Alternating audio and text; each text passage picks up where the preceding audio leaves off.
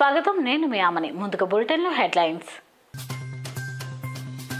వరదలతో పంట నష్టపోయిన రైతన్నల ఖాతాల్లో ఇన్పుట్ సబ్సిడీని జమ చేసిన ముఖ్యమంత్రి వైఎస్ జగన్.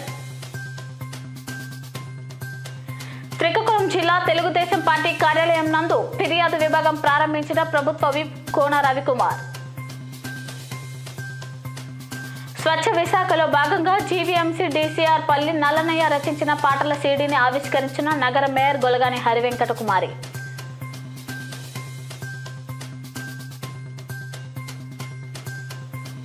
గుండె ఆరోగ్యం పట్ల అవగాహన పెంచేందుకు లవ్ యువర్ హార్ట్ అనే నినాదంతో ఫైవ్ కే వాక్ను ప్రారంభించిన కమిషనర్ లక్ష్మీ షా. గత ఏడాది నవంబర్లో భారీ వర్షాలు వరదలతో పంట నష్టపోయిన రైతన్నుల ఖాతాలో ప్రభుత్వం మంగళవారం ఇన్పుట్ సబ్సిడీని జమ చేశారు. దీనివల్ల వర్షాలు వరదలతో పాటు నేలకోత ఇసుక మేటల కారణంగా పంటల నష్టపోయిన ఐదు లక్షల తొంభై ఏడు వేల మూడు వందల పదకొండు మంది రైతన్నలకు లబ్ధి చేకూరింది. మొత్తం ఐదు వందల నలభై రెండు పాయింట్ సున్నా ఆరు కోట్ల ఇన్పుట్ సబ్సిడీని ముఖ్యమంత్రి వైఎస్ జగన్మోహన్ రెడ్డి మంగళవారం నేరుగా రైతన్నల ఖాతాల్లో జమ చేశారు. అలాగే పన్నెండు వందల ఇరవై రైతు గ్రూపుల ఖాతాల్లో వైఎస్ఆర్ యంత్ర సేవ పథకం కింద ఇరవై తొమ్మిది పాయింట్ యాభై ఒక్క కోట్లను జమ చేశారు. ఆ వెరిఫికేషన్ కార్యక్రమాలు ఇవన్నీ కూడా పూర్తి చేసి ఆ తొంభై మూడు కోట్ల రూపాయలు కూడా రైతన్నలకు ఈరోజు రిలీజ్ చేస్తూ ఉన్నాం. అంటే అక్షరాల ఐదు వందల డెబ్బై ఒక్క కోట్ల రూపాయలు ప్లస్ తొంభై మూడు కోట్ల రూపాయలు ఈరోజు బటన్ నొక్కిన వెంటనే నేరుగా రైతన్నల ఖాతాల్లోకి జమ అవుతోంది మనందరి ప్రభుత్వం అధికారంలోకి వచ్చిన నాటి నుంచి దేవుడి దయ వల్ల మంచి వర్షాలు కురుస్తూ ఉన్నాయి. రాయలసీమ లాంటి కరువు ప్రాంతంలో సైతం ఈరోజు గ్రౌండ్ వాటర్ టేబుల్ కూడా బాగా పెరిగిన పరిస్థితులు సందర్భాలు కూడా ఈరోజు కనిపిస్తూ ఉన్నాయి. అంతేకాకుండా ఎక్కడ చూసినా కూడా చెరువులన్నీ కూడా రిజర్వాయర్లన్నీ కూడా పుష్కలంగా నీటితో కలకలలాడుతూ ఉన్న పరిస్థితులు కూడా ఈరోజు కనిపిస్తూ ఉన్నాయి. అయితే వెలుగు కింద చీకటి ఉన్నట్టుగా కూడా జరిగిన మంచితో పాటు అధిక వర్షాల వల్ల కొద్ది మేరకు పంట నష్టం కూడా జరిగిన పరిస్థితులు కూడా కనిపిస్తూ ఉన్న నేపథ్యంలో ఆ రైతన్నలకు కూడా అండగా నిలబడే కార్యక్రమం ఈరోజు చేస్తూ ఉన్నాం. రైతన్న కోసం ఎన్నో చేస్తూ ఉన్న ప్రభుత్వంగా ఆ రోజు మూడు నెలల కిందట ఈ అధిక వర్షాల వల్ల నవంబర్ మాసంలో ఈ అధిక వర్షాల వల్ల వరదల వల్ల నష్టపోయిన రైతులను వెంటనే ఆ రోజే ఆదుకుంటూ ఎనభై శాతం సబ్సిడీతో అక్షరాల లక్ష ఇరవై ఒక్క వేల క్వింటాల్ క్వింటాళ్ళ విత్తనాలు దాదాపుగా లక్ష నలభై మూడు వేల మంది రైతన్నలకు దాదాపుగా అరవై రెండు కోట్ల రూపాయలు ఆ రోజే ఖర్చు చేసి రైతన్నకు తోడుగా నిలబడడం కూడా జరిగింది. ఈరోజు జరిగిన ఆ రోజు జరిగిన ఆ నష్టాన్ని ఈరోజు ఇన్పుట్ సబ్సిడీ రూపాన రూపేణ ఈ ఐదు లక్షల డెబ్బై ఒక్క వేల నాలుగు వందల డెబ్బై ఎనిమిది మంది రైతులకు ఎప్పటికప్పుడు విడుదల చేస్తున్న తొలి ప్రభుత్వం మనదే అని కూడా ఈ సందర్భంగా సగర్వంగా మీ బిడ్డలా తెలియజేస్తా ఉన్నాను. ఎందుకంటే ఇది ఎక్కడా కూడా జరగదు. ఏ రాష్ట్రంలోనూ జరగడం లేదు. మన రాష్ట్రంలో అయితే ఎప్పుడూ కూడా గతంలో ఎప్పుడూ కూడా జరగల. ఏ సీజన్లో పంట నష్టం జరిగితే అదే సీజన్ ముగియక మునిపే రైతన్నలకు తోడుగా నిలబడే పరిస్థితి ఎక్కడా కూడా ఎప్పుడూ కూడా మన రాష్ట్రంలో ఎప్పుడు జరగని పరిస్థితి. ఎందుకు ఇంత మా ఎందుకు ఈ మాటలన్నీ కూడా ఇంత స్పష్టంగా చెబుతున్నానో మీ అందరికీ కూడా తెలియజేస్తా ఉన్నాను. ఎందుకనంటే ఒకసారి గత ప్రభుత్వం హయాం ఒక్కసారి గుర్తుకు తెచ్చుకుంటే గత ప్రభుత్వంలో కొన్నిసార్లు అయితే పూర్తిగా ఎగ్గొట్టేసిన పరిస్థితులు. మరికొన్నిసార్లు అయితే అరకొరగా అది కూడా ఆలస్యంగా అది కూడా కొందరు విజయవాడ ప్రభుత్వ ఆసుపత్రిలో లంచం డిమాండ్ ఘటనపై ఆసుపత్రి superintendent doctor Y Kiran Kumar స్పందించారు. ఈ ఘటనపై superintendent doctor Y Kiran Kumar మాట్లాడుతూ ఉన్నత అధికారుల ఆదేశాల మేరకు విచారణ చేపట్టినట్లు తెలిపారు. దీనిపై ఎలాంటి ఫిర్యాదు అందకపోయినా మీడియా కథనాల ఆధారంగా బాధితురాలి కుమారుడికి ఫోన్ చేసి డబ్బులు అడిగిన వ్యక్తిని గుర్తిస్తే చర్యలు తీసుకుంటామని చెప్పామని అన్నారు. ఈ ఘటనపై విచారణ జరుపుతామని ఇలాంటివి పునరావృతం కాకుండా చర్యలు తీసుకుంటామని ఆయన తెలిపారు. కిరణ్ కుమార్ అండి. గవర్నమెంట్ జనరల్ హాస్పిటల్ విజయవాడ సూపరింటెండెంట్గా ఉన్నాను. ఇవాళ నేను లీవ్లో ఉండడం జరిగింది. ఇవాళ మన అనుకోని విధంగా ఒక సంఘటన ఇక్కడ జరిగింది. ఇక్కడ ఒక సామ్రాజ్యం అనే పేషెంట్ని తీసుకురావడం జరిగింది. వాళ్ళు ఆల్రెడీ ఆపరేషన్ చేయించుకున్నారు. వాళ్ళకు కట్టుకు వాళ్ళు రావటం వాళ్ళకి వీల్ చైర్ అందుబాటులో లేకపోవడం వీల్ చైర్ అడిగితే ఎవరో డబ్బులు అడిగారనే ఒక ఆరోపణ మన మన దృష్టికి వచ్చింది. సో ఆ క్రమంలో మనం ఇవాళ ప్రాథమికంగా ఎంక్వైరీ చేయడం జరిగింది. ప్రాథమికమైన ఎంక్వైరీలో వాళ్ళ బాబుని సామ్రాజ్యం పేషెంట్లు కూడా అడిగితే వాళ్ళు వెంటనే వెళ్ళిపోయారు. పదకొండు గంటలకు వచ్చారు. పదకొండున్నర కల్లా ట్రీట్మెంట్ తీసుకొని కట్టుకట్టించుకొని వెళ్ళిపోవడం జరిగింది. మన దృష్టికి అయితే మాత్రం ఇక్కడ కంప్లైంట్ ఇవ్వలేదు. మన ఆఫీస్లో కానీ ఆర్ఎంఓ కానీ లేకపోతే సీఎంఓ కానీ ఎవరు కంప్లైంట్ ఇవ్వడం జరగలేదు. బట్ మీడియా దృష్టికి మాత్రం తీసుకురావడం జరిగింది. ఈ క్రమంలో మేము వాళ్ళకి ఫోన్ చేసి వెంటనే అడిగాం. ఇప్పుడు ఇప్పుడు వచ్చి మీరు వెంటనే రాగలిగితే మీరు ఐడెంటిఫై చేస్తే అతను డబ్బులు అడిగిన వ్యక్తి హాస్పిటల్ సిబ్బంది అయి ఉంటే మాత్రం వెంటనే మేము వాళ్ళ మీద యాక్షన్ తీసుకుంటామని చెప్పడం జరిగింది. ఈ విషయంలో మా కలెక్టర్ గారు సబ్ కలెక్టర్ గారు డిఎంఈ గారు హెల్త్ సెక్రటరీ గారు కూడా వెంటనే యాక్షన్ తీసుకోమని మాకు ఆదేశాలు ఇవ్వడం జరిగింది. ఈ క్రమంలో మేము అతన్ని ఫోన్ చేసి వాళ్ళ బాబుకి సామ్రాజ్యం అనే వాళ్ళ బాబుకి ఫోన్ చేయడం జరిగింది. అతను చెప్పడం ఏంటంటే మేము వచ్చామండి. స్ట్రెచ్చర్ స్ట్రెచర్ లేదు. అక్కడ ఉన్న వాళ్ళు ఎవరో డబ్బులు అడిగారు. డబ్బులు ఇవ్వలేక మేము చేతుల మీద తీసుకెళ్ళామన్నారు. మరి మీరు గుర్తుపడతారంటే రేపు వస్తానంటే నేను ఇప్పుడు రాలేను నేను మంగళగిరిలో ఉంటానన్నారు. ఇవాళ మేము కోరేది ఏంటంటే ఏదన్నా మీరు మిమ్మల్ని లంచం అడిగితే ఇవాళ వైఎస్ జగన్మోహన్ రెడ్డి గారి గవర్నమెంట్ లంచగొండల మీద ఉక్కుపాదమే మోపుతా ఉంది. ఈ క్రమంలోనే ఒక టోల్ ఫ్రీ నెంబర్ కూడా ఇవ్వడం జరిగింది. ఒకటి నాలుగు నాలుగు సున్నా సున్నాకి వెంటనే తెలియజేయచ్చు. ఇక్కడ కూడా మేము మా సెల్ ఫోన్ నెంబర్లు కూడా అక్కడ డిస్ప్లే చేసాం మాకు కూడా తెలియజేయచ్చు. వెంటనే మేము కూడా యాక్షన్ తీసుకుంటాం. ఇలాంటి చర్యలు పునరావృతం కాకుండా మేము చూస్తామండి. ఈ విషయంలో రేపు కూడా ఎంక్వైరీ జరుగుతుంది. ఆ ఎంక్వైరీలో అతను పిలుస్తాం. ఆ పేషెంట్ వాళ్ళ అబ్బాయిని పిలిచి ఎవరైతే డబ్బులు అడిగారో వాళ్ళకి తెలిస్తే మాత్రం వెంటనే యాక్షన్ తీసుకుంటామండి.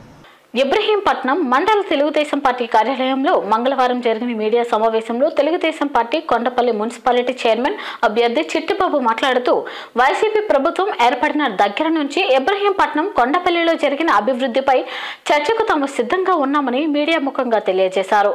దుర్గా కాలనీ ఆంజనేయ నగర్ కొత్తగేటు శ్రామిక నగర్ ఎక్కడ చూసినా అభివృద్ధికి చిహ్నం టీడీపీ అని మీరు చేసింది ఏంటో మేము చేసింది ఏంటో ప్రజల సమక్షంలోనే చర్చకు సిద్ధమని అన్నారు. మీ ప్రభుత్వం ఏమీ చేయడం లేదు కాబట్టి వచ్చే ఎన్నికల్లో వైసీపీని భూస్థాపితం చేయడం ఖాయమని హెచ్చరించారు. మమ్మల్ని వాళ్ళు మాకు వచ్చి డిస్ప్యూట్ వచ్చి ఆపేసేయమన్నారు. హైకోర్టులో స్పష్టంగా రిజర్వ్ ఫారెస్ట్ అని చెప్పేసి తీర్పు వచ్చింది ఆ ల్యాండ్ మీద. తీర్పు వచ్చింది కాబట్టి మమ్మల్ని మైనింగ్ చేయొద్దని ఆ, ఆపేశారు. మీరు- అన్నారు కదా ఇప్పుడు రెవెన్యూ అయ్యేదాకా మేము ఊరుకోమని చెప్పేసి మీరు అన్నారు కదా చెప్తున్నా తీర్పు ఉందా లేదా లేదా? కాదు సార్ మళ్ళీ చెప్తున్నా. రెండు వేల పద్దెనిమిదిలో మీరు అన్నట్టు హైకోర్టు నుంచి ఆర్డర్స్ ఉండబట్టి ఇది బాబు ఇది ఫారెస్ట్ కింద వచ్చింది మీరు మైనింగ్ చేయొద్దని మమ్మల్ని ఆపేశారు. మేము ఆగిపోయాం. ఆగిపోయిన తర్వాత రెండు వేల ఇంకా నువ్వు రెండు సంవత్సరాల తర్వాత పంతొమ్మిది ఇరవైలో నువ్వు నువ్వు బ్లాస్ట్ నువ్వు నువ్వు ఎత్తుకుపోతే అది ఫారెస్ట్ కింద వచ్చిద్దా రెవెన్యూ కింద వచ్చిద్దా? అవునా? అలా- అలాంటి చర్చలు కూడా మీరు సిద్ధం అంటున్నారు ఆయన మీరు మీరు? ఏంటిది? అలాంటి దానికి కూడా చర్చ చేయడానికి ఏమండే అభివృద్ధికి కానీ దేనికైనా మేము సిద్ధమే. మీరు ఏ రోజు రమ్మన్నా ఎక్కడికి రమ్మన్నా లేకపోతే ఏ కాలనీలోకి రమ్మన్నా ఏ దుర్గా కాలనీలోకి వచ్చి ఏమ్మా అంతకుముందు అభివృద్ధి ఉందా? ఇవాళ మేము శుభ్రంగా ఉందా? అని చెప్పి అక్కడ ప్రజలతో కూడా చర్చలకు వస్తానన్న మేము సిద్ధమే. అలాగే కొత్త గేట్లోకి వచ్చి అరే బాబు మీరు అంతకుముందు రోజు ఎంత సంపాదించేవాళ్ళు? ఇవాళ ఎంత సంపాదిస్తున్నారు? అన్న మేము సిద్ధమే. అర్థమైందండి? ఇంకా ఆంజనేయ నగర్లోకి వచ్చి అంతకుముందు పంపులు ఎలా వచ్చాయి? రోజుకి ఎన్నిసార్లు వచ్చాయి? ఇవాళ రోజుకి ఎన్నిసార్లు వస్తున్నాయి? ఎన్ని గంటలు వస్తుంది? అనే దానికైనా మేము సిద్ధమే. ఆ తర్వాత ఏదో చెప్తున్నారు నేను అన్ని కోట్లు ప్రోట్లు వేసాను ఇన్ని కోట్లు ప్రోట్లు వేసాను అనేది మీ లెక్క ఉంది మా లెక్క ఉంది. రేపు తేల్చే రోజు వచ్చింది రేపు లెక్కలు వస్తాయి. ఏ అభివృద్ధి చేసినా ఏ సంక్షేమం చేసినా మేము చేశాం. ఈ తెలుగుదేశం పార్టీ చేసింది కాబట్టి ప్రజలు మళ్ళీ మమ్మల్ని అవకాశం ఇచ్చి గెలిపించారు. అదే నిదర్శనం. మీరు మీ అంతరాత్మకు తెలుసు. అలాగే ప్రజలకు కూడా తెలుసు. ప్రజలు ఎప్పుడు వచ్చిందా? ఆ రోజు అని చెప్పని ఎదురు చూస్తున్నారు. మీరు ఏ చర్చలకైనా దేనికైనా సిద్ధం? ఎల్లప్పుడూ సిద్ధమని చెప్పాను పోరాడటానికి ఎల్లప్పుడూ సిద్ధమేనని మేము పత్రికా తెలియజేస్తున్నాం.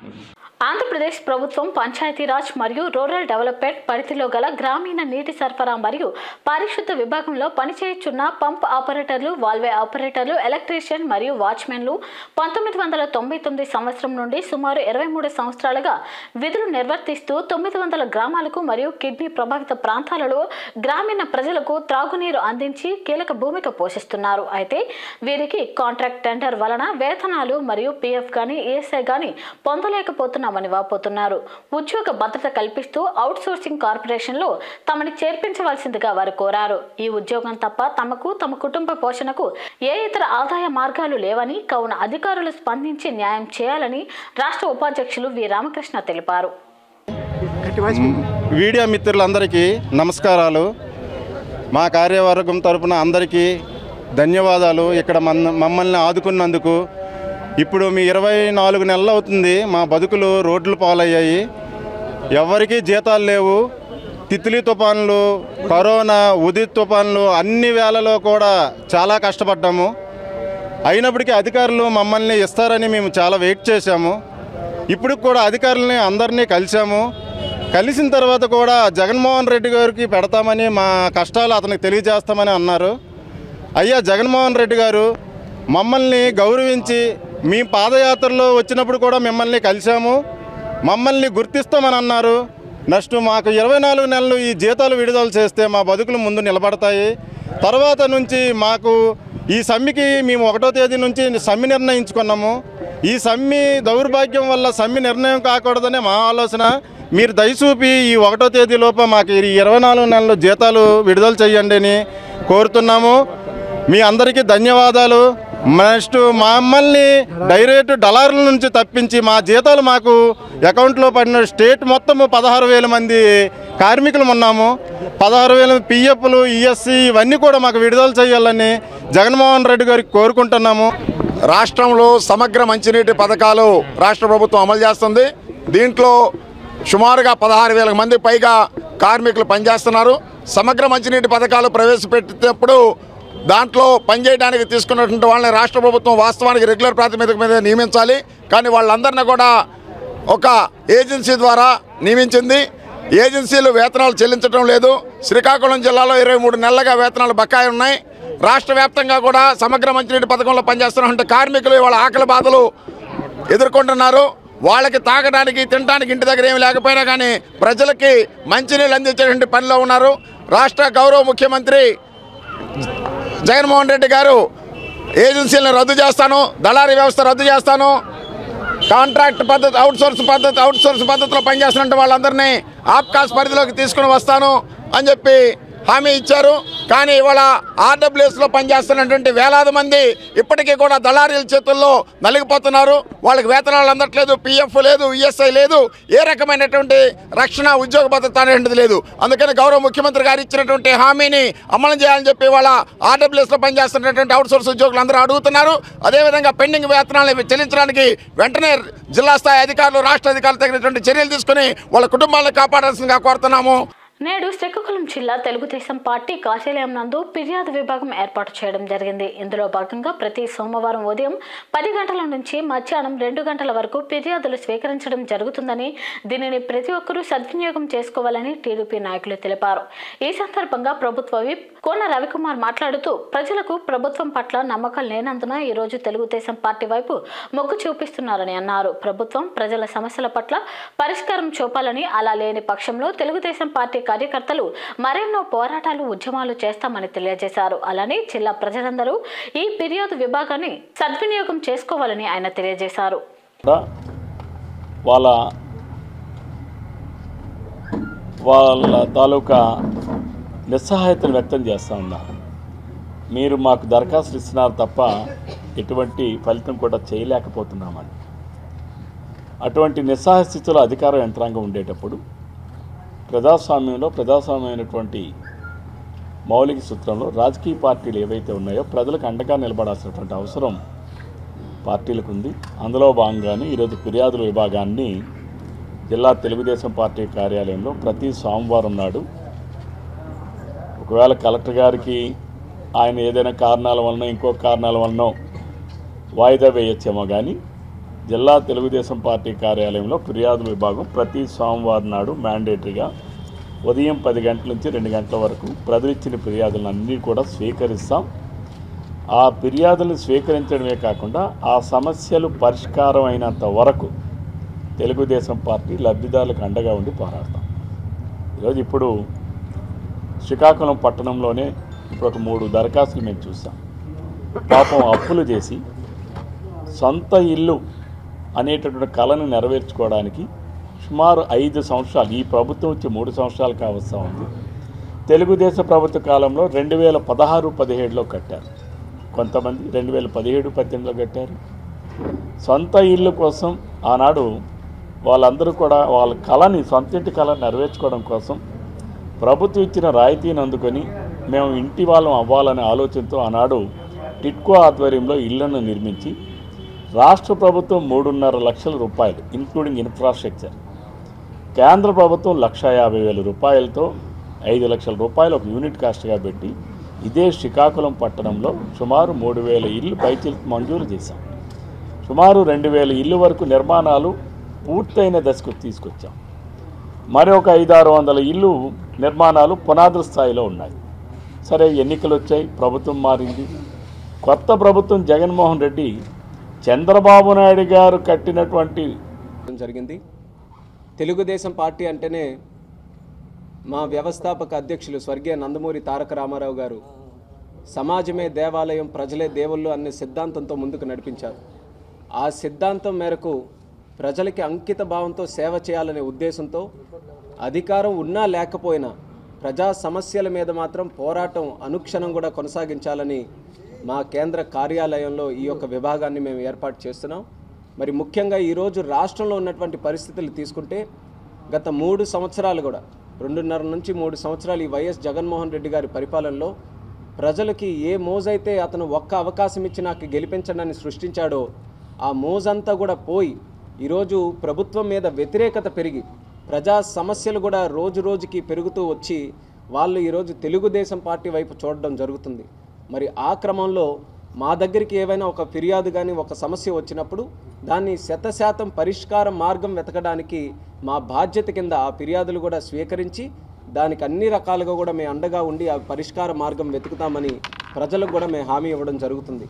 ఈరోజు చూసుకుంటే ఇళ్ళ విషయంలో కానీ ఎందుకనంటే జగన్మోహన్ రెడ్డి గారు ఆ రోజు ఎలక్షన్లో ఏమన్నారు? నా మేనిఫెస్టోనే చాలా క్లీన్ మేనిఫెస్టో. ఒకే ఒక్క పేపర్ ఉన్న మేనిఫెస్టో ఇది. బహుశా దేశంలో ఎవరు చేసి ఉండరు నవరత్నాల మేనిఫెస్టో అన్నారు. అందుకని మనం వేరే పథకాలు ఏవి కూడా మాట్లాడద్దు. ఎందుకనంటే ప్రభుత్వం దగ్గర ఉన్నది ఏదో తొమ్మిది పథకాలు చేయాల్సిందే కాదు. ఐదు సంవత్సరాలు ప్రభుత్వం అంటే ముఖ్యమంత్రి అని అంటే. ప్రభుత్వం అని అంటే పూర్తి శాతం ఒక గవర్నెన్స్ అందించి ఎన్నో రకాలైనటువంటి విభాగాలు. ఎన్నో అంశాల మీద సరైనటువంటి పాలసీ మేకింగ్ తీసుకొని రాష్ట్రాన్ని ముందుకు నడిపించడానికి చేయాలి. కానీ జగన్మోహన్ రెడ్డి గారు అడిగితే నేనేమి హామీ ఇవ్వలేదు నవరత్నాలు ఇచ్చానంటారు. కానీ ఆ నవరత్నాల్లోనే ఈరోజు చూసుకుంటే ఒక పెన్షన్ విషయంలో రేషన్ కార్డు విషయంలో లేకపోతే అమ్మఒడి లాంటిది కానీ చేయుత లాంటి పథకాల విషయంలో డెవలప్మెంట్ అనుకుంటే రోడ్ల విషయంలో ఆ కార్యక్రమాలైనా సక్రమంగా చేయగలుగుతున్నారా? ఈరోజు ప్రజల దగ్గరికి వెళ్ళి ఏంటి సమస్య అని అంటే వాళ్ళు నవరత్నాల వైపే చూపించడం జరుగుతుంది. మా రేషన్ కార్డులు కట్ అయిపోతున్నాయి మా పెన్షన్లు కట్ అయిపోతున్నాయి ఎనభై సంవత్సరాలున్న వృద్ధులు కూడా ఈరోజు మాకు పెన్షన్ రావట్లేదని వస్తున్నారని అంటే మరి ఎంత దౌర్భాగ్య పరిస్థితి ఈరోజు సామాన్యుడు కానీ పేదవాడు అనుభవిస్తున్నాడో ఈరోజు తెలుసుకోవాల్సినటువంటి అవసరం ఉంది. స్వచ్ఛ విశాఖలో భాగంగా నగర అభివృద్ధిలో ప్రజల భాగస్వామ్యాన్ని కోరుతూ జీవీఎంసీ డీసీఆర్ పల్లి నల్లనయ్య రచించిన పాటలు ఎంతో స్ఫూర్తినిస్తున్నాయని నగర మేయర్ గొలగాని హరివెంకట కుమారి కొనియాడారు. జీవీఎంసీ పాత కౌన్సిల్ సమావేశ మందిరంలో జీవీఎంసీ పాటల సీడీని మేయర్ ఆవిష్కరించారు. ఈ సందర్భంగా ఆమె మాట్లాడుతూ నగర ప్రజలంతా బాధ్యతగా పన్నులు సకాలంలో కట్టడంతో పాటు స్వచ్ఛ సర్వేక్షణ్ రెండు వేల ఇరవై రెండులో నంబర్ వన్గా విశాఖను తీర్చిదిద్దేందుకు ప్రజల సహకారం ఎంతో అవసరమని ఈ విషయాన్ని పాటల రూపంలో తీసుకురావడం అభినందనీయమని అన్నారు. కమిషనర్ లక్ష్మీషా మాట్లాడుతూ నగర అభివృద్ధిలో తోడ్పాటులో ప్రజల బాధ్యతను గుర్తు చేయడంలో ఈ పాటలు ఎంతో దోహదపడతాయని పేర్కొన్నారు. అందరికీ నమస్కారం. ఈరోజు స్వచ్ఛ విశాఖలో భాగంగా ఈరోజు ఇక్కడ జీవీఎంసీ అధికారి అయినటువంటి డీసీఆర్ గారు ఈరోజు ఒక పాటలు రచించి వా- అదే పాడించి చాలా అంటే ప్రజల్లోకి ఒక అవగాహన కార్యక్రమం కింద ఈరోజు ఇలాంటి కార్యక్రమాలు కూడా మన జీవీఎంసీ నుంచి ప్రజలకి పంపించడం చాలా గొప్ప విషయం. అంతేకాకుండా స్వచ్ఛ విశాఖలో ప్రతి ఒక్కరూ బాధ్యతగా తడి చెత్త పొడి చెత్త ప్రమాదకర చెత్తని సపరేట్గా చేసి వచ్చిన జీవీఎంసీ సిబ్బందికి మీరు ఇవ్వాలని ప్ర ప్రజలకు విజ్ఞప్తి చేస్తూ అలాగే ప్రతి ఒక్కరూ తమ బాధ్యతగా ఇంటి పన్నుని అదే చెత్త పన్నుని తమ బాధ్యతగా మీరు జీవీఎంసీ వాళ్ళకి కట్టాలని నేను మనస్ఫూర్తిగా కోరుకుంటూ అలాగే ఇది మనం ఇలా పరిపాలనలో ఒక భాగంగా మన బాధ్యతగా తీసుకొని కట్టడం వల్ల విశాఖపట్నం అభివృద్ధికి మన సెంట్రల్ గవర్నమెంట్ నుంచి కూడా ఫండ్స్ తీసుకురావచ్చు. కనుక మీరు ఇలాగా మీరు ప్రజలందరూ సహకరించినట్లయితే తప్పకుండా సెంట్రల్ గవర్నమెంట్ నుంచి మనం ఫండ్స్ తీసుకొని ఇంకా మరింత విశాఖపట్నానికి అభివృద్ధి దిశలో మనం అడుగులు వేయగలుగుతాం. తప్పకుండా ప్రజ ప్రజలందరూ కూడా ఒక ఒక ఇంటి పరిపాలనలో భాగంగా తీసుకొని ప్రజలందరూ కూడా ఈ చెత్త పన్ను అందరూ కడతారని మనస్ఫూర్తిగా కోరుకుంటూ విజ్ఞప్తి చేస్తూ విశాఖ నగర మేయర్గా విజ్ఞప్తి చేస్తూ. ఓకే. అందరికీ నమస్కారం ఈరోజు మన జీవీఎంసీ సిబ్బంది అయిన మన డీసీ రెవెన్యూ శ్రీ నలనయ్య గారు సో మంచి స్ఫూర్తితో మంచి ఉత్సాహంతో నగర ప్రజలందరిలో ఒక చైతన్యం తీసుకురావాలని ఒకటి స్వచ్ఛ విషయం గురించి అయితే ఏంటి లేదా ఈ పనుల గురించి అయితే రెండు పాటలు రచించి so Sri Matha digital studio recording ద్వారా దాన్ని రికార్డ్ చేయించి అలాగే శ్రీ వేణుమాధవన్ గారు మ్యూజిక్ డైరెక్టర్ ఆయన ద్వారా అవి డైరెక్ట్ చేయించి చాలా చక్కగా ఈరోజు గౌరవ మేయర్ గారి చేతుల మీద ఆవిష్కరించడం జరిగింది. సో ఈ పాటలు ఎంత చక్కగా ఉన్నాయంటే సో సిటిజన్స్కి వాళ్ళ బాధ్యతను గుర్తు చేస్తూ ఒక మ్యూజికల్ ఫీస్ట్గా దీన్ని తీసుకెళ్ళి ప్రజల్లో ఒక చైతన్యం తీసుకురావడానికి చాలా తోడ్పడుతుంది అని మేము భావిస్తున్నాము. సో ఈ ఈ పాటల స్ఫూర్తితో సో ప్రజలందరూ దయచేసి స్వచ్ఛ సర్వేక్షణలో భాగమై సో తడి చెత్త పొడి చెత్త చేసి సపరేట్ చేసి అలాగే పారిశుభ్ర సిబ్బందితో ప్రాపర్గా ఆ కోఆర్డినేట్ చేసి మన నగరాన్ని నెంబర్ వన్ చేయాలని నగరాన్ని క్లీన్గా ఉంచాలని కోరుకోవడంతో పాటు ఏదైతే పన్నులు కట్టాల్సి ఉందో అది ప్రాపర్టీ పన్ను కావచ్చు యూ కావచ్చు యూజర్ ఛార్జెస్ కావచ్చు లేదా వాటర్ ట్యాక్సెస్ కావచ్చు ఇవన్నీ టైమ్లీ కట్టి సో ఈ నగరాన్ని ఇంకా అభివృద్ధి చేయడానికి కార్పొరేషన్కి జీవీఎంసీకి సహకరిస్తారని కోరుకుంటూ ఈ పాటలు రాసి రచించి పాడి మ్యూజిక్ చేసి ఈరోజు నగరానికి అంకితం చేస్తున్న ప్రతి ఒక్కరికి నేను ధన్యవాదాలు తెలుసుకొస్తున్నాను. ప్రతి ఒక్కరూ గుండెకు సంబంధించిన జాగ్రత్తలు తీసుకుని తద్వారా ఆరోగ్యాన్ని కాపాడుకోవచ్చని జీవీఎంసీ కమిషనర్ లక్ష్మీషా అన్నారు.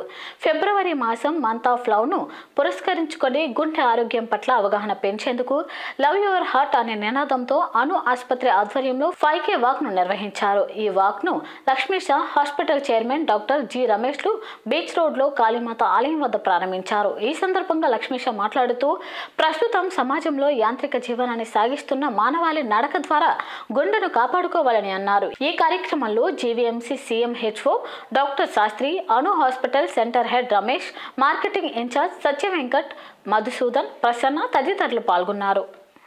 నెగ్లెక్ట్ చేస్తున్నాం. ఈ నెగ్లిజెన్స్ అన్నది కంటిన్యూ కాకూడదు మన హార్ట్ ప్రాబ్లమ్స్ అన్నది పెరగకూడదు అనే ఉద్దేశంతో ఈ హెల్త్ అవేర్నెస్ ప్రోగ్రామ్ అన్నది క్రియేట్ చేయడం అన్నది జరుగుతుంది. This the love your heart అనే ప్రోగ్రాంలో మీ గుండె యొక్క ఆరోగ్య ఆవశ్యకతను తెలుసుకోండి. ప్రతిరోజు ఒక అరగంట పాటు నడవటం అనేది అత్యంత ముఖ్యమైన అంశం. మీ గుండెను మీకు ఆరోగ్యంగా ఉంచుకోవాలంటే ప్రతిరోజు నడక లేదా ప్రతిరోజు ఒక అరగంట వ్యాయామం అనేది అత్యంత అవసరమైనది. దాంతోపాటు రెగ్యులర్ చెకప్స్ అన్నది కూడా చాలా ఇంపార్టెంట్. ముఖ్యంగా కోమార్బిడిటీస్ అంటే డయాబెటీస్ హైపర్ టెన్షన్ ఇటువంటి ప్రాబ్లమ్స్ ఉన్నవాళ్ళు ఫ్రీక్వెంట్గా మా మీ గుండెను చెక్ చేసుకోవటం ఎంతో అవసరం. దీని గురించి ఈ అవేర్నెస్ ప్రోగ్రాంతో పాటు మీకు మా హాస్పిటల్లో కొన్ని ప్రత్యేకమైన ప్యాకేజెస్ మీ గుండె చెకప్ కోసం అన్నది ఇవ్వటం అన్నది జరిగింది. దీన్ని సద్వినియోగం చేసుకుంటారని ఆశిస్తున్నాను నేను డాక్టర్ రమేష్ అండి. Chairman of the Anu group of hospitals. ఈరోజు Anu institute of neuro and cardiac sciences వాళ్ళు ఇక్కడ love your heart campaign start చేశారు. ఫైవ్ కేర్ అని మొదలు పెడుతున్నారు. విశాఖపట్నం పట్నం ప్రజలందరికీ. సో హార్ట్ గురించి కేర్ చేయండి. హార్ట్ కోసం కేర్ చేస్తూ ఆరోగ్యంగా ఉండండి ఆనందంగా ఉండండి అనే నినాదంతో ఈరోజు ఒక ఫైవ్ కేర్ అని పెట్టి ఉన్నారు. దీంట్లో భాగస్వామ్యం చేసినందుకు నన్ను బాగా భాగస్వామ్యం చేసినందుకు కృతజ్ఞతలు తెలియజేస్తూ ఉన్నాను. సో విశాఖపట్నం ప్రజలందరికీ నా విన్నపం కూడా. శ్రీకాళహస్తి పట్టణంలోని జూటూరు డిజిటల్స్ను ప్రారంభించిన స్థానిక శాసనసభ్యులు బియ్యపు మధుసూదన్ రెడ్డి అనంతరం మీడియాతో మాట్లాడుతూ శ్రీకాళహస్తిలో నూతనంగా ప్రారంభించిన జూటూరు డిజిటల్స్ కస్టమర్లకు సరసమైన ధరలకు అందించాలని షాప్ యాజమాన్యాన్ని కోరారు. టౌన్ డెవలప్ అవుతుంది. మనం నాయుడుపేటని సత్యవేడిని తిరుపతిని కూడా మనందరూ తిరుగుతుపోతారు ఇస్తులు అక్కడ కాకుండా కాళాశ్వరం కొనుక్కునే ఏర్పాటు ఈరోజు మన జుట్టు వాళ్ళు జుట్టు వాళ్ళు వచ్చేసి ఈరోజు ఓపెన్ చేయడం చాలా సంతోషంగా ఉంది. మన శ్రీరాము తన బ్రదర్స్ అయితే దగ్గర పాపం సొంతం ఈరోజు వాళ్ళే అంతా ఆర్గనైజ్ చేయడం చాలా సంతోషంగా ఉంది. కాబట్టి కాలాసులో ఇటువంటి షోరూమ్ ఓపెన్ అవడానికి చాలా సంతోషంగా ఉంది.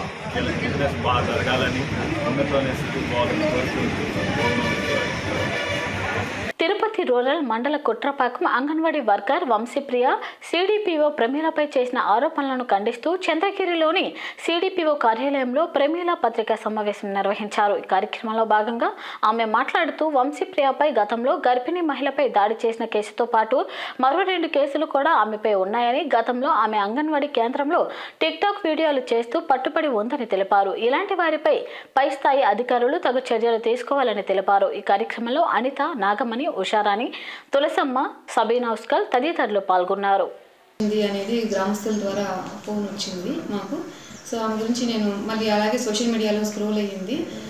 దాని గురించి వివరణ ఏమనగా ఆల్రెడీ అంగన్వాడీ కార్యకర్త మీద మేము గత డిసెంబర్ నెలలో ఆవిడ అక్టోబర్ నెలలో దాదాపుగా మూడు నెలల పాటు అక్టోబర్ నుంచి అంగన్వాడీ కార్యకర్త ఆచూకీ లేదు ఆమె చరవాణిలో ఆచూకీ లేదు అసలు ఆచూకీ తెలియడం లేదు రిపోర్ట్లు ఇవ్వడం మాకు కష్టంగా ఉంది అని సెక్టార్ సూపర్వైజర్ మాకు వ్రాతపూర్వక ఫిర్యాదుతో ఆమెకు షోకాజ్ నోటీస్ ఇష్యూ చేసి నిజంగా అది వాస్తవం అని తెలిసి కలెక్టర్ గారికి ఫైల్ సబ్మిట్ చేసే ముందు గతంలో ఆమెకి వచ్చినప్పటి నుంచి గతంలో ఆమెకి ఎటువంటి చర్యలు తీసుకున్నాము అనే దాని మీద దాదాపుగా రెండు వేల ఎనిమిది నుంచి వంశీప్రియ రెండు వేల ఏడులో జాయిన్ అయితే రెండు వేల ఎనిమిది నుంచి కూడా అంగన్వాడీ కార్యకర్త మీద గతంలోని అధికారులు చాలాసార్లు పలుమార్లు ఆమె మీద చర్యలు తీసుకుంటూ అదేవిధంగా సెక్టార్ సూపర్వైజర్లందరూ మేము పని చేయలేకపోతున్నాము.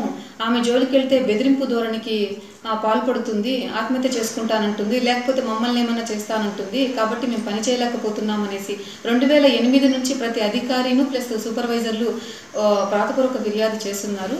సో వాటిని వాటితో పాటు నా పీరియడ్లో వచ్చినటువంటి ఫిర్యాదులు ప్లస్ నేను ప్రత్యక్షంగా విజిట్ చేసి తీసుకున్నటువన్నీ క్రోడీకరించి తూర్పుగోదావరి జిల్లా జగ్గంపేట మండలం కాట్రావులపల్లి గ్రామంలో రాజమహేంద్రవరంకు చెందిన ఆచార్య ఎన్జి రంగ వ్యవసాయ విశ్వవిద్యాలయం పరిధిలో కళాశాల విద్యార్థినులు J Mounika K Priyanka T Sravani G Tejasri Y Tejaswi B Venisri గ్రామ రైతులు J Veerabhadrarao M Harikrishna T Dharmaraju P Satyababu A Rambabu P Raju మరియు ఇతర గ్రామ సభ్యులు ఆధ్వర్యంలో పార్టిసిపేటరీ రూరల్ అప్రైసల్ కార్యక్రమం రావీప్లో భాగంగా కాట్రవలపల్లి గ్రామ నమూనా పటాన్ని చిత్రీకరించారు. ఏరువాక కేంద్రం పెద్దాపురం సమన్వయకర్త ఏ సీతారామ శర్మ ప్రధాన శాస్త్రవేత్త పి. మునిరత్నం శాస్త్రవేత్త జె. సుధీర్ కుమార్ తదితరులు విచ్చేశారు. ఈ కార్యక్రమం వలన విద్యార్థినులు గ్రామం మరియు గ్రామం యొక్క వనరుల పట్ల అవగాహన పొందినట్లు భావిస్తున్నానన్నారు తూర్పుగోదావరి జిల్లా గోకవరం మండలంలోని స్థానిక దేవీ చౌక్ సెంటర్లో ఉన్న ఎస్ ఆకారం ఎరుకు వంతెన వద్ద ప్రతిరోజు ట్రాఫిక్ అంతరాయం కలగడంతో వాహనదారులు అనేక ఇబ్బందులు పడుతున్నారు. ఈ ఎరుకు వంతెనకు నూట పద్నాలుగు సంవత్సరాలు పూర్తి కావడంతో శిథిల స్థాయికి చేరుకుందని ప్రయాణికులు వాహనదారులు ఇరుకు వంతెనతో అనేక ఇబ్బందులు గురవుతున్నారని కావున అధికారులు దీనిపై దృష్టి పెట్టి నూతన వంతెనను నిర్మించాలని వాహనదారులు గ్రామస్తులు కోరుతున్నారు. స్పందన ఆర్జీల పరిష్కారం సంతృప్తి స్థాయిలో ఉండాలని ముఖ్యమంత్రి కార్యదర్శి సాల్మాన్ ఆరోగ్యరాజ్ అన్నారు. నాణ్యమైన పరిష్కారం ఉన్నప్పుడే స్పందనకు అర్థం ఉంటుందని ఆయన చెప్పారు.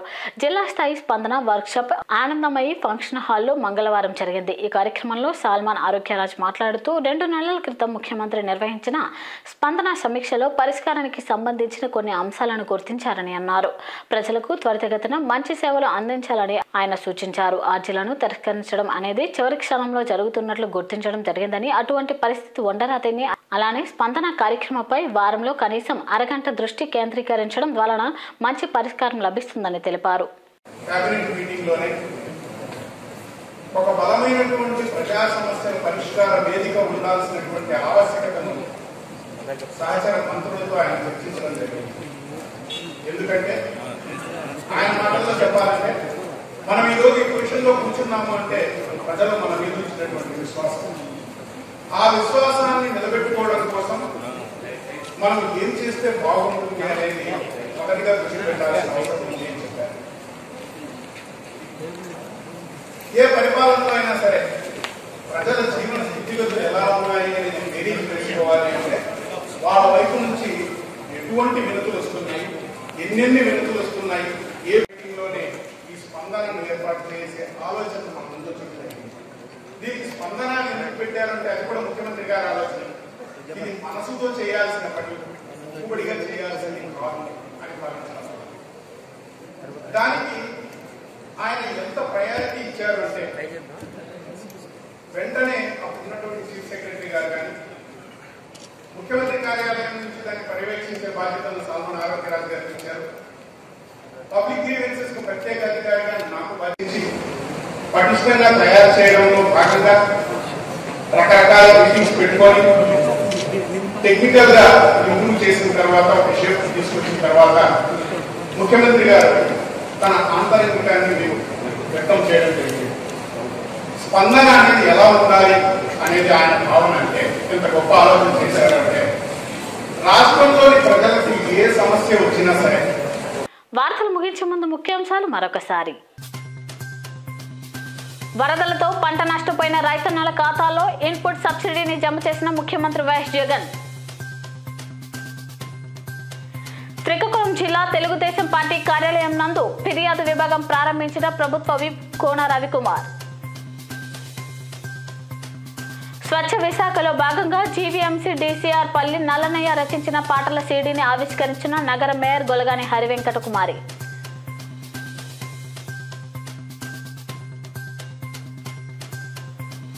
గుండె ఆరోగ్యం పట్ల అవగాహన పెంచేందుకు లవ్ యువర్ హార్ట్ అనే నినాదంతో ఫైవ్ కే వాక్ను ప్రారంభించిన కమిషనర్ లక్ష్మీ షా.